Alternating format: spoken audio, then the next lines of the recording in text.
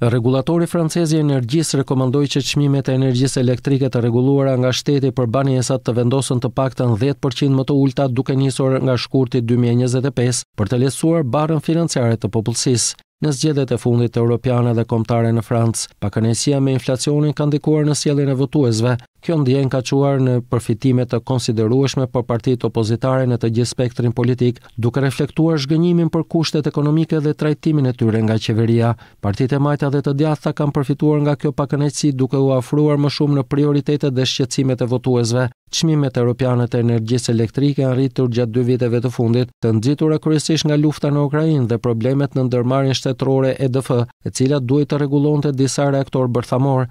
Franca fillimisht vendosi një kufi çmimi për energjinë elektrike pas luftës në Ukrainë, të cilin qeveria e lehtësoi gradualisht. Kostot mesatare të energjisë elektrike mbeten ende relativisht të ulëta në krahasim me vendet e tjera europiane. Qeveria do të duhet të vendosë nëse do të zbatojë rekomandimin e rregullatorit për fillimin e vitit tjetër, ministri në largim i Financave, Bruno Le Maire, sinjalizoi në fillim të këtij viti preferencën e tij për një ulje të konsiderueshme të çmimeve. Qëndrimi i tij reflekton angazhimin për të zbutur ndikimin e kostove të larta tek familjet dhe bizneset.